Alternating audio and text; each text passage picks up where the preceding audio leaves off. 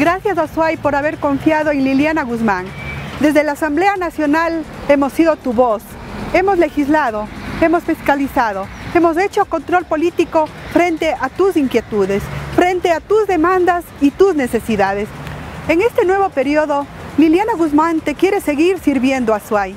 Hay mucho por hacer, hemos avanzado bastante, el futuro no se detiene para nuestros campos, para nuestras ciudades, para los niños, para los adultos mayores, para los jóvenes, para las amas de casa.